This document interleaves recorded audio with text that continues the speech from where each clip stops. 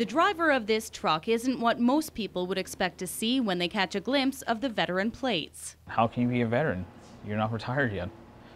Well, no, it's, it's not just retirees that are veterans. Come TJ. 32 year old Jim Collins' life now includes playing in the park with his dog TJ. This is far removed from what it has been in the past. As a sergeant with the Canadian Forces, Collins did two tours in Afghanistan. One lingering effect of his time overseas has been bouts of intense anger. Somebody complained at Starbucks because they didn't get the right size coffee and kicks the rage off like that. I'm like, you're seriously complaining about your cup of coffee right now?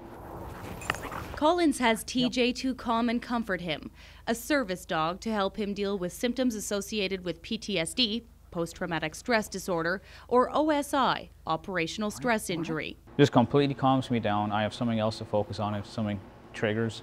I have a dog to focus on. And uh, it's just amazing that a dog can have so much of an impact on your life. Good girl. Collins associates his symptoms with OSI over PTSD. PTSD, he feels, makes you unable to do your job. Despite his struggles, he loves working as a soldier because of an unparalleled feeling of achievement. In Afghanistan, girls are going to school. Locals aren't getting blown up by IEDs because you find them first. You're pushing bad guys out of villages so that the locals can actually grow grapes and wheat and whatever they need to survive instead of having to grow poppies for heroin. But the downside of his job reared its ugly head on Collins' second tour in Kandahar City. His symptoms stem from that. December 30th.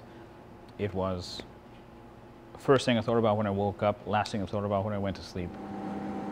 On that day in 2009, Collins was out on patrol with his unit and two civilians.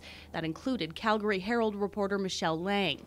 Civilians were a target for insurgents in Afghanistan. That day, Lang became the first Canadian journalist to be killed in the Afghan conflict. She died alongside four soldiers. Collins watched as an IED like this one blew up the lead armored vehicle of their convoy with a force that rattled windows four kilometers away. It was pretty intense. It was unbelievable. Um, watching it happen, I was, at first, I was just like, you know, a LAV's not supposed to fly, it weighs 23 tons. The power of the explosion blew apart the bodies of everyone in the vehicle. Five of the ten people inside died. You just feel your, your intestines sink, and then it's just cold, numb sensation. And it was like that for, for a while afterwards. But for Collins and his troops, business continued on as usual. You don't really have time to grieve about it. Uh, it happens. You do your ramp ceremony, you put the guys in the Herc and you, you ship them home and the next day you're back at work.